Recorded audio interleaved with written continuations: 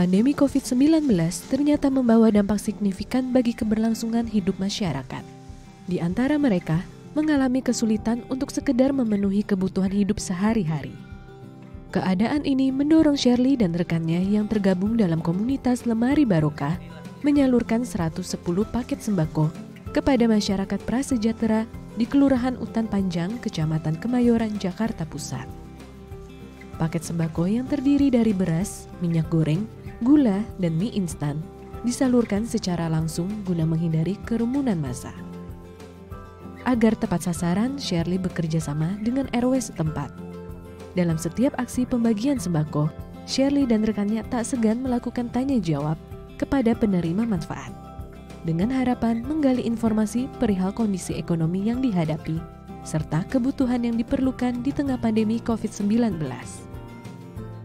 Kami diberi kesempatan untuk berkeliling bersama Bapak Dila, Eh, DKM di Masjid Baitul Kiram, kita berkeliling memberikan sembako sebanyak 110 sembako kepada warga di sini yang memang sangat kekurangan.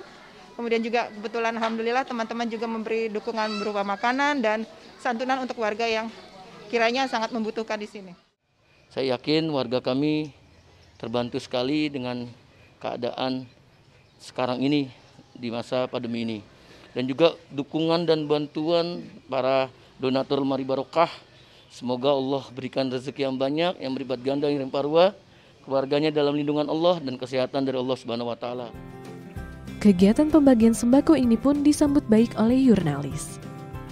Selama pandemi ini, dirinya sulit mencari penghasilan untuk sekedar memenuhi biaya makan sehari-hari.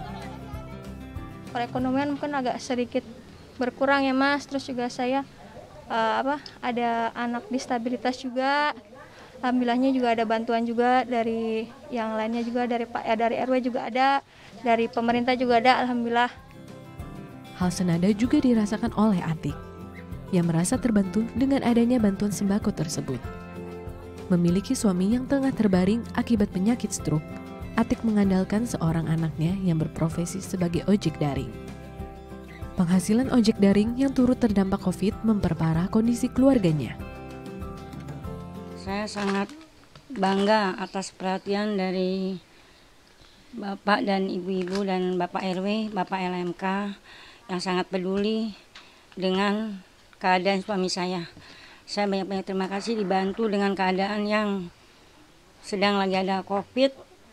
Saya masih mempunyai tanggung jawab anak satu dan anak yang dua udah menikah tapi dia kerjanya lagi apa di Grab tapi ya keadaan Grab lagi seperti inilah. Ke depannya, Shirley dan rekan-rekan yang tergabung dalam komunitas Lemari Barokah akan terus membagikan sembako kepada warga yang terdampak pandemi.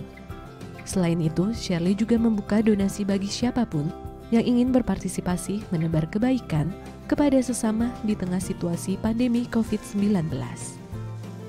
Media Tawadu, Fajar Agustino, DAI TV.